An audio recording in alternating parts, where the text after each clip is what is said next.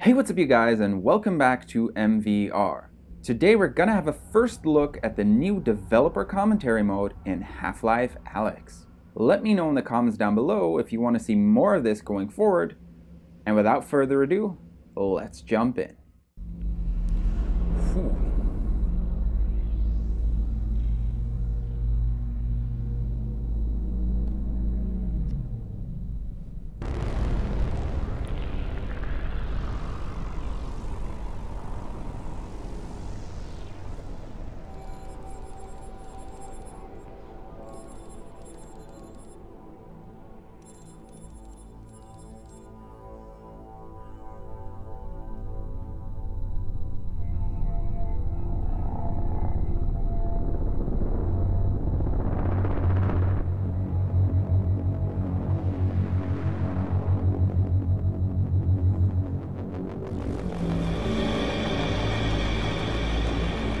My name is Gabe Newell, and welcome to Half Life Alyx.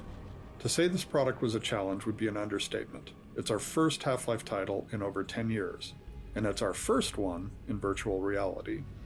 In addition to it being a great VR experience that still felt like a Half Life game, we wanted Half Life Alyx to serve players who've been waiting to find out what happens after Episode 2, and at the same time, provide an on ramp to anyone who hasn't played a Half Life game at all.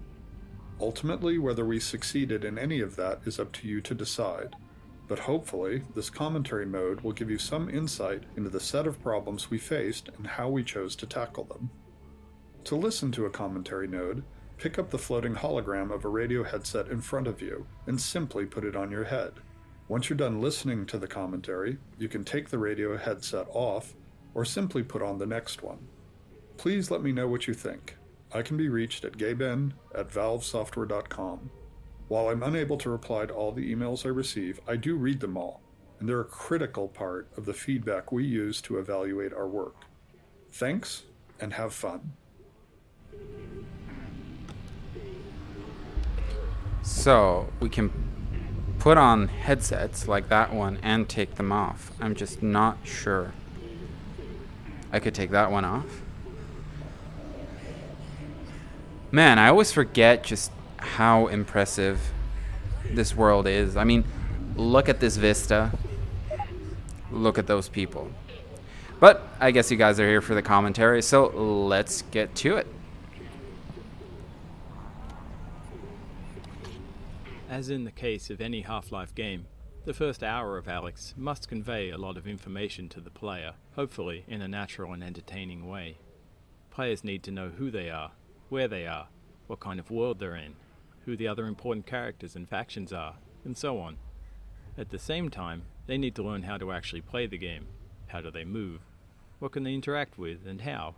What should they be trying to do, etc. Figuring out exactly what information we would try to convey in these first two levels, and how it would be conveyed, took us over two years of playtesting. It's tempting to try and include everything we think a player should know, but all information has a priority, and the more we include, the more chance there is that a player misses something important because they're distracted or confused by something less important. So over the next two levels, we'll use commentary nodes to point out some of the specific places where we grappled with conveying information to the player. In between these nodes, you'll likely be able to spot many other examples for players to find, if they're interested in paying closer attention and understanding more.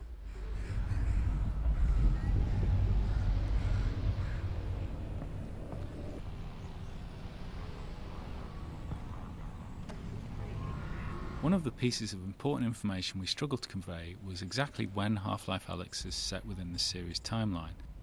Whilst we tried to reflect it carefully in many of the world details, it was never 100% successful during playtests. Eventually, we decided it was too important to be left to the players to figure out, and so we put it in our opening text crawl.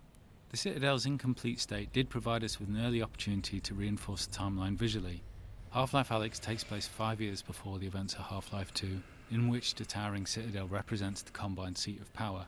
As we see here, however, early Combine infrastructure is a cluttered mess of cables and unusual structures sprawled all over the city, surrounding the citadel's construction, and served as a useful indicator of the time frame.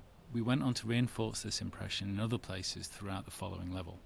Combine architecture tends to be abstract in scale and form, so we included some familiar visual cliches of human construction, the large external scaffolds, some distinction of floor levels, rows of small lights, and the tidying of the silhouette into more structured vertical elements, try and strike a balance between capturing the alien nature of the Citadel whilst grounding its construction in enough familiarity to better understand its size and state.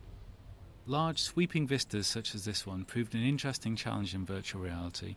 Their distance from the viewer means they don't benefit from stereoscopic vision the way that small close up objects do. Because of this, the small objects on the balcony often draw the attention of the players before they've even noticed the imposing structure in the distance.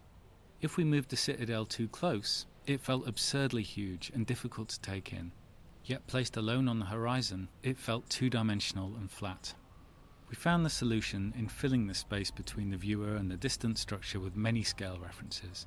The city itself, huge supply cables leading towards the vanishing point, large repeated combine buildings, heavy pollution fog, careful lighting, and all the animated elements, especially the helicopter whose sound begins in the fade in. All these were carefully composed to help draw the attention of the player to the citadel first, before letting their attention wander to take in the details of the city and settle ultimately on the inviting items here on the balcony.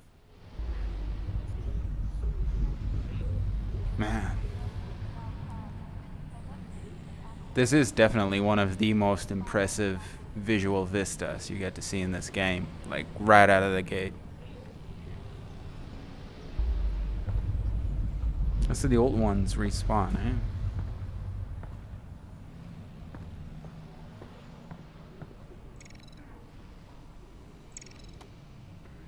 In these first areas of the game, we grappled a lot with the density and prioritization of the information we were conveying to the player. Playtesting showed us that players in VR were easily distracted, often due to better peripheral vision, such that they'd focus on one scene element while losing track of others. This was exacerbated in these first rooms because players were acclimatizing to being in VR, often for the first time. In addition, different players progress at different speeds. We saw some players spend 30 seconds on the opening balcony and others 30 minutes. As a result, we did a lot of iteration over the set of opening areas, each time changing what information we tried to convey and where. Initially, the video call from Eli took place in the later refuge room with the Snark and camcorder, but players were often too engrossed in interacting with all of the detail in that room to pay attention to the conversation between Eli and Russell.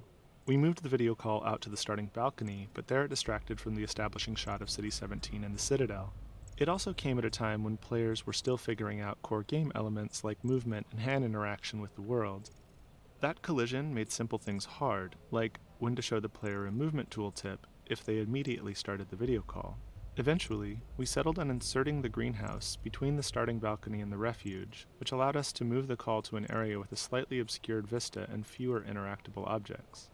This avoided the distraction problems and ensured players were past the initial gameplay moments of figuring out their hardware and movement setup. It also had the bonus of allowing us to add further detail to the opening balcony and Alyx's refuge without fear of creating distractions from the video call.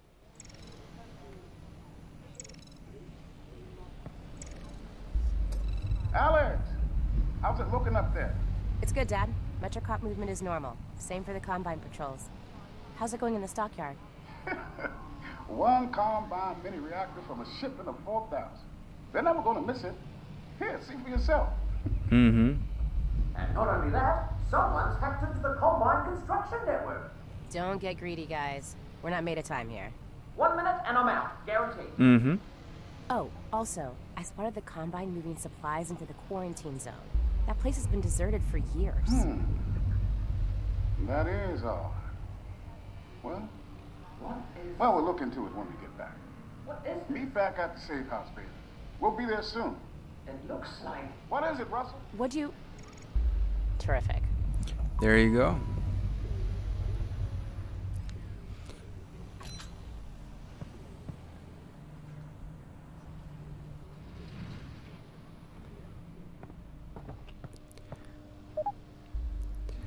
Man,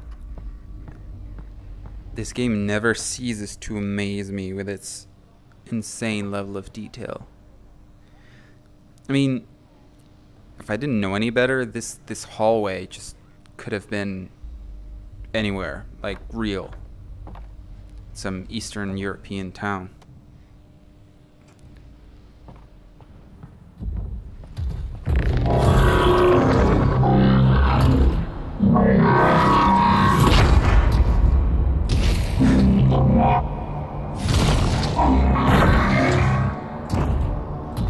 Gets me every time.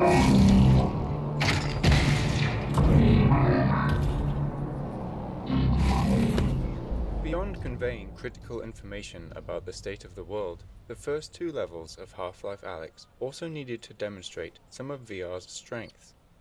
Conveying a sense of scale is something VR does much better than flat screens, and our early playtests showed us that nothing quite sold that scale more than seeing a Strider up close.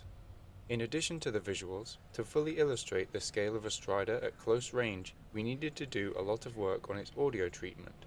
Players had strong expectations about feeling the weight, power and presence of the Strider through its movements, particularly as it stepped on the balcony the player was occupying.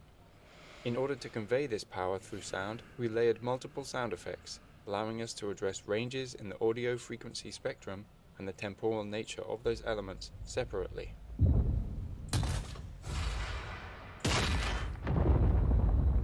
We then combined those elements in the Source 2 audio engine to control them as one sound. Just goes to show like how much detail was put into this first scene where you get the Strider and they just over engineered this this tiny piece to make this entire VR experience worth it, like immersive, to sell it to the player. That is the kind of level of detail that you wait 10 years for to experience. Because I don't think any other company other than Valve actually invests that much time into these world building, immersive details. It's crazy. Really crazy.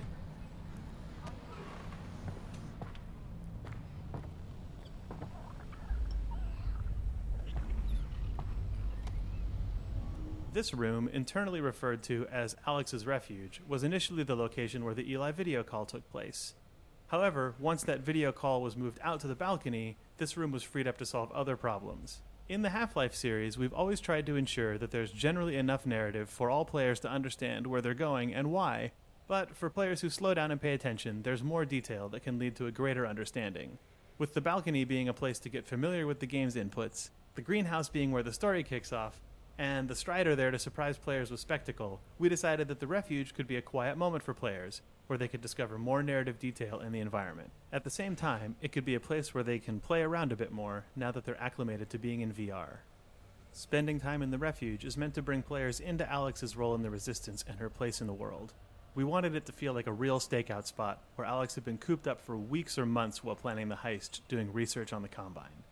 The camcorder, snark, and whiteboards are all toys that respond to detailed interaction and reward deeper investigation, giving curious players more information about the world of City 17 and what Alyx has been doing in it.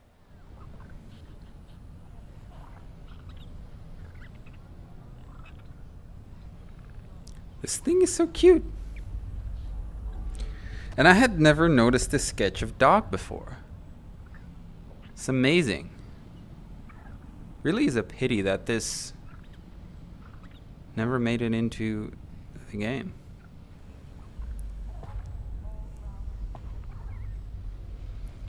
Alright, I guess we move on.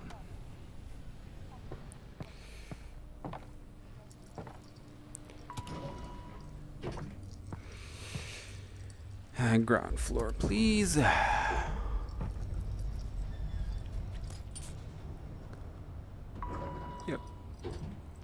Power outages. Alyx, are we good? Yep, they got the reactor. Easy peasy. I'm headed back to the safe house right now to meet Dad. Go. We'll be in touch. Stay safe.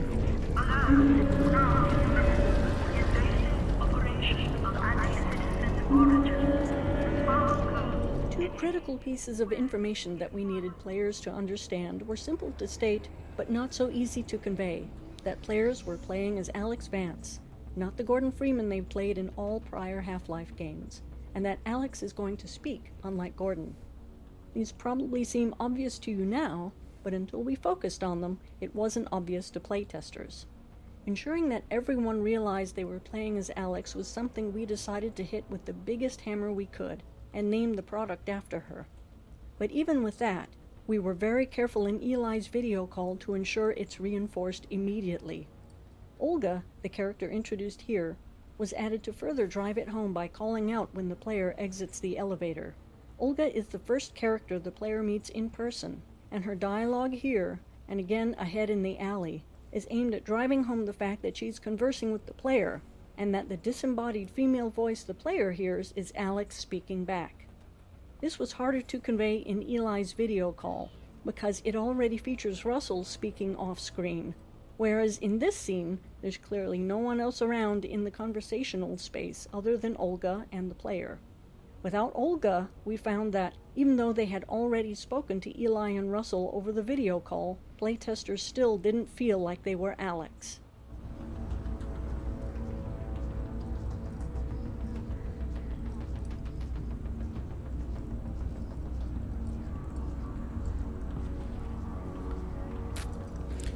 Just gonna get rid of this tooltip real quick. Yep.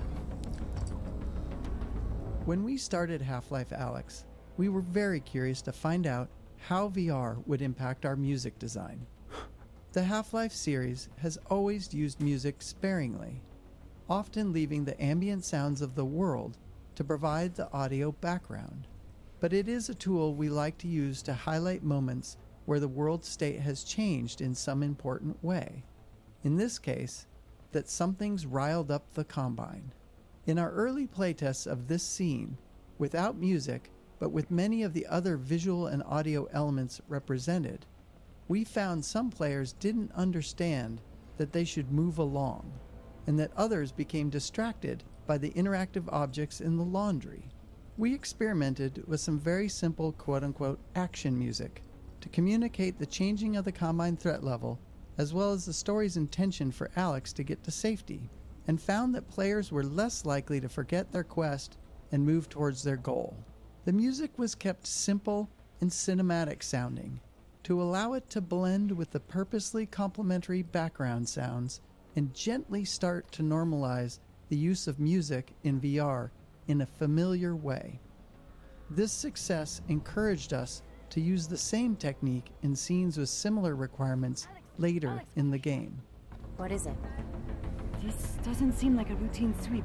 Are you sure everything went okay? 100%. Something's got the suitcase riled up. Keep your head down and be smart.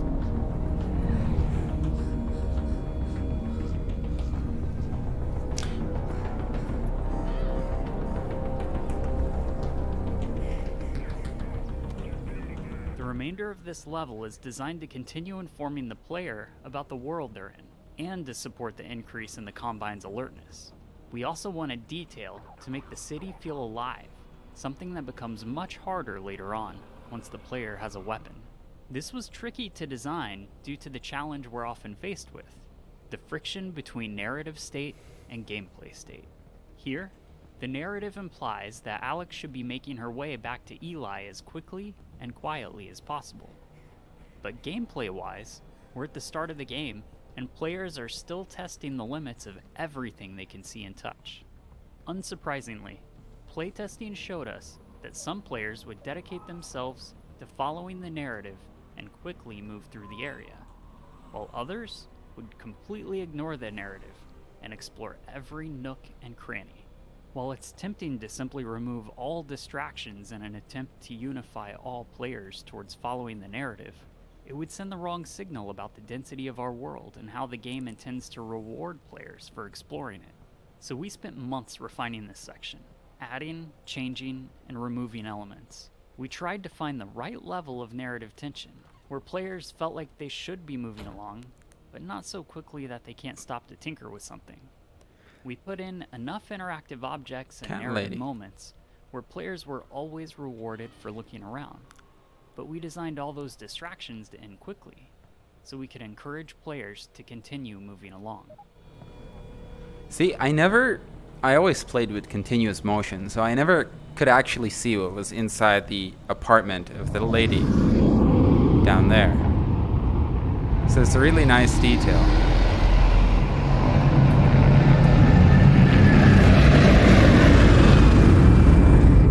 So it's a really nice detail that you can actually make it up there and see into her apartment And then you see she's a cat lady. That's that's that's detail. That's funny.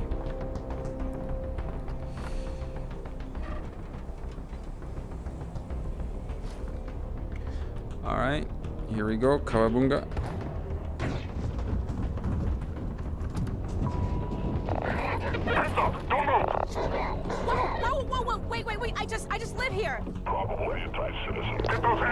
Wait, wait, wait, wait, don't shoot.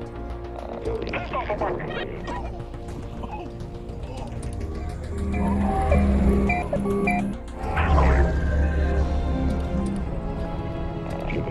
We didn't steal anything. No one, I didn't see anyone. Dad! No, no, no, no, no. Don't, don't, don't, don't. Wait, wait, Always leaves an impact.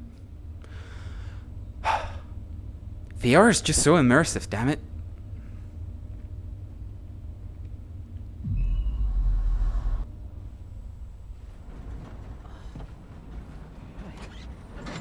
In order to limit the possibility of motion sickness that could be induced by moving the player in a vehicle, we initially wrote this scene to have Alyx wake up after the van had already crashed.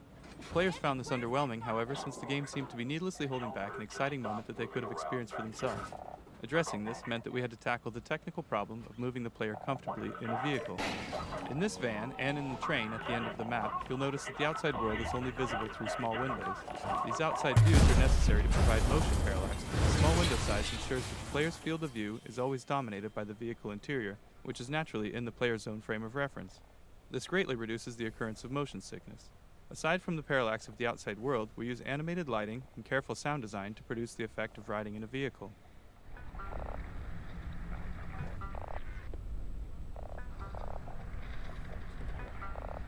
That's what you get when you don't wear seatbelts.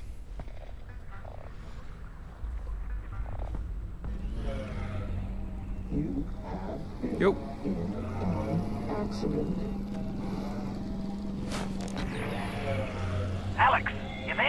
Yep. You've got to get moving. Russell, I've been in an accident. I know! I caused it, so technically not an accident. You've got to get moving. Wait, wait, where's Dad? He's fine. Follow the drone.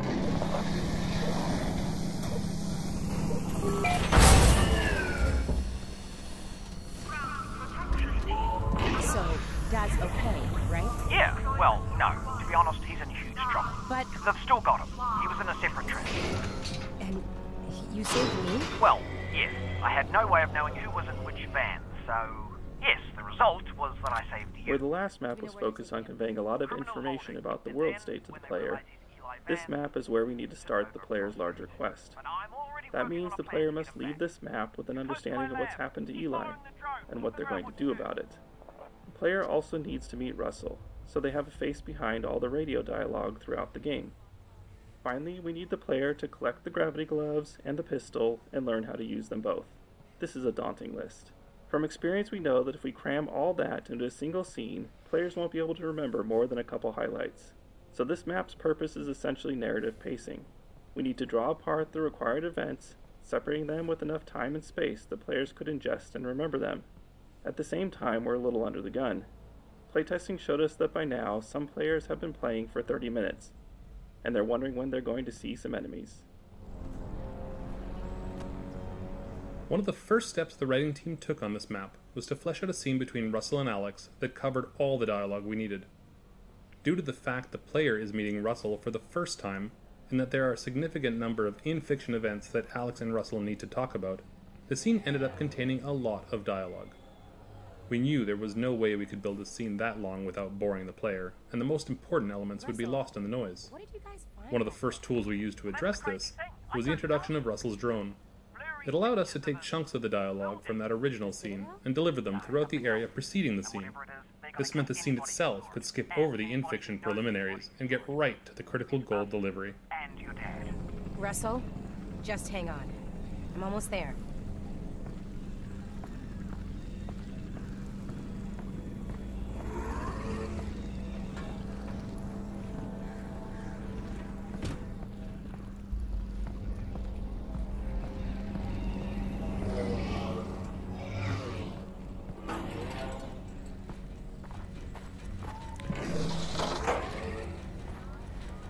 I do in this playground? Can I slide down? Does that count?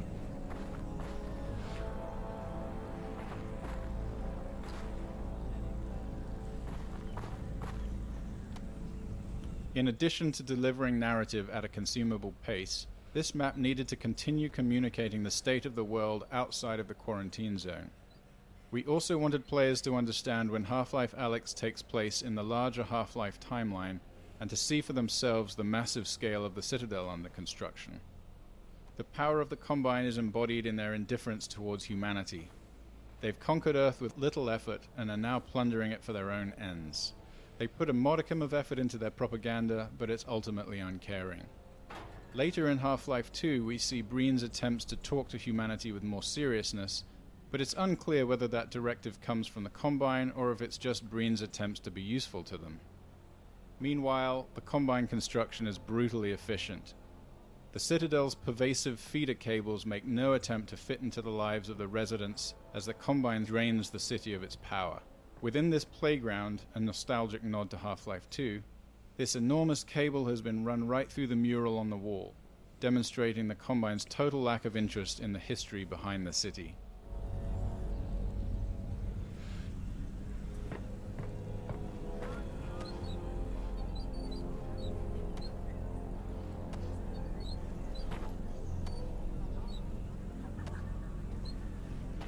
There we go.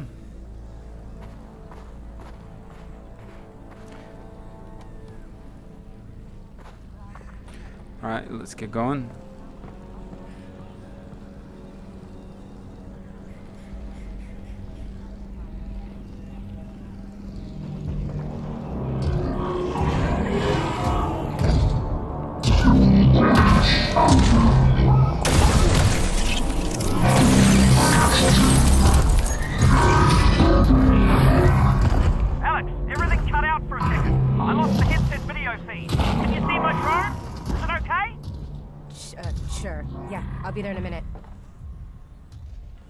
Sure it is.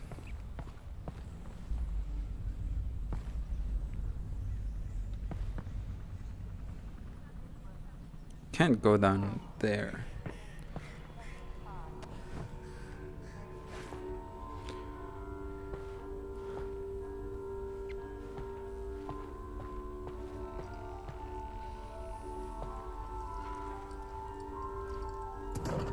Alyx, great.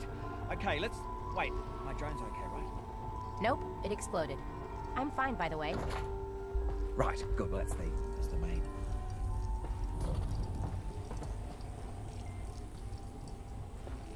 Russell, they've got Dad. I know. This. this is bad. Russell's laboratory is the first time the player is in the same room as another character, and it highlights one of the main challenges we face when designing choreographed scenes in VR, keeping the player and characters out of each other's space. In previous Half-Life games, we could always forcefully move the player if we really needed them out of the way. We made several attempts at finding a similar solution in VR, but found that it often made players feel deeply uncomfortable or disoriented. So instead, we designed these spaces to allow for a natural separation between the player and our characters. Where natural separators couldn't exist, we had to restrict players from moving into the character space, removing that limitation as soon as the character had moved out of the way. Another challenge was balancing how often characters respond to player actions while delivering important narrative information.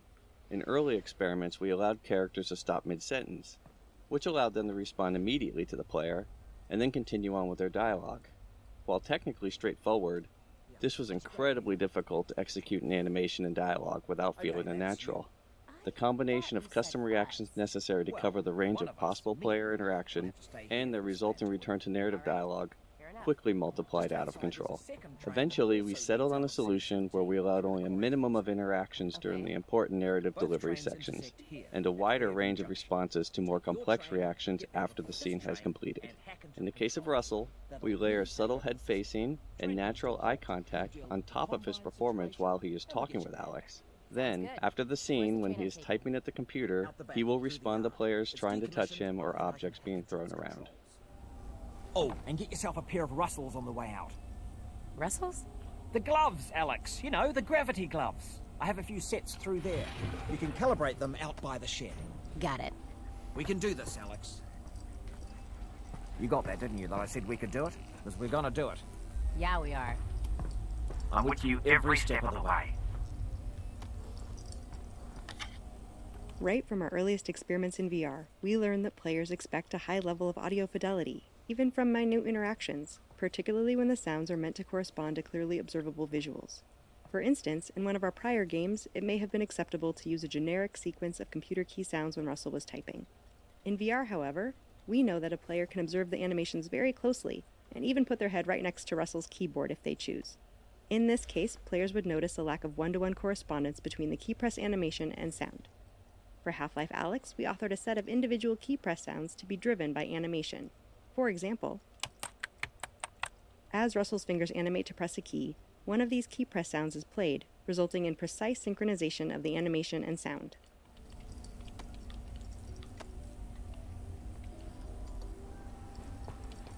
Oh, muzzle off.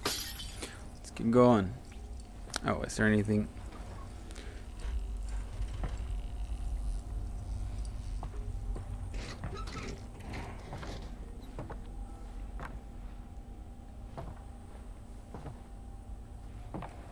Guess not.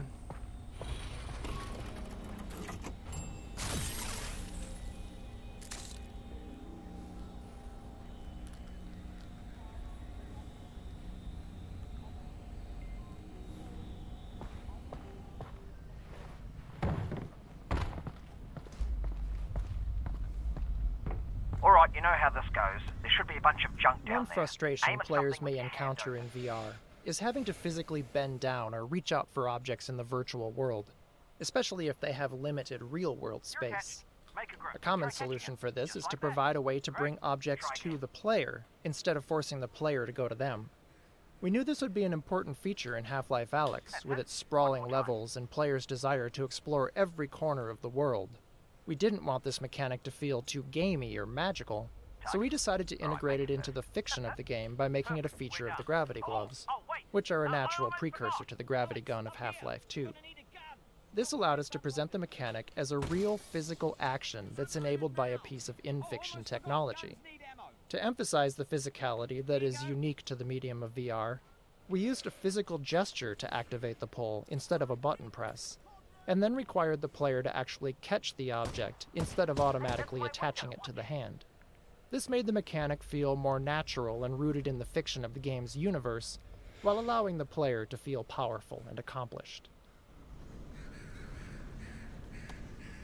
When a player pulls an object with the gravity gloves, we use the game's physics engine to apply a launch force to that object with a trajectory that is partially influenced by the direction of the player's pull gesture.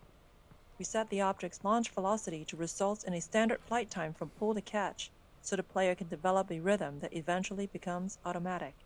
We want the object to arrive at the hand as reliably as possible, so after the initial launch, we continually apply small impulse forces along the trajectory, represented by the white arrows. Those impulses help counter gravity and compensate for collisions with obstacles along the way, while continuously steering the object toward the hand, which is itself a moving target. A generous catch range and subtle haptic feedback when the object enters that range virtually guarantees that it will end up in the player's hand every time, even if their attention is focused elsewhere. One other benefit of implementing this with physics is that we didn't need to do custom handling for an object's size, mass, or inertia, and it automatically compensated for the non-standard gravity that players encounter inside the vault at the end of the game.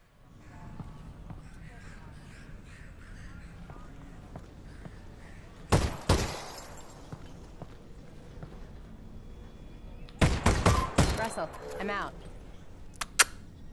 Give me some.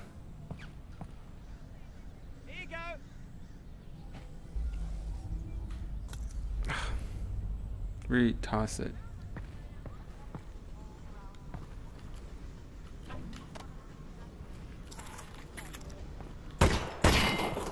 Oh, you uh, took care of that lock then. Good. Great. Did have the key for it, but should have given you that. That's, that's on me. Okay. All right, here we go. Next stop, Fairview Junction. Thanks, I guess. And good luck, Alyx. Goodbye. Obviously, just to let you know, I am still here though. I know. So that's all for today. Let me know if you guys feel like seeing more of this by leaving a thumbs up and sharing your opinion in the comments down below. Bye for now, and as always, I will see you guys next time.